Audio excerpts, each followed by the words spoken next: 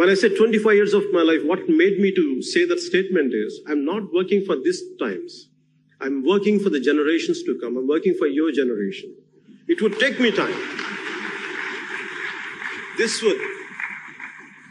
Because when I look at my own son's age, who is around 14, a little younger than that, I feel we have taken the greatest sacrifices done by our freedom fighters.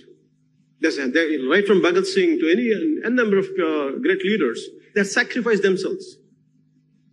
And yet, we don't carry that legacy. We are selfish and we are completely self-centered. I even I thought of I questioned myself. I don't want to be the group of who, who just think about themselves, who are selfish. I don't want to be a part of that group. Whether I'm being an actor or not, whatever best I could do, I want to be. I don't want to be that that kind of society who just merely thinks in a selfish manner. So I came out. I'm doing my bit part. I also request you to do your bit part. There are enough political ideologies out there. I want you to evaluate each and every ideology consciously. Understand everything. What is the pros and cons of each and every ideology? Whatever the political parties are there. If you want to go into them, join in them. But I want you to understand completely. Is it what you are? Then please completely embrace it. Stick to it and fight for it.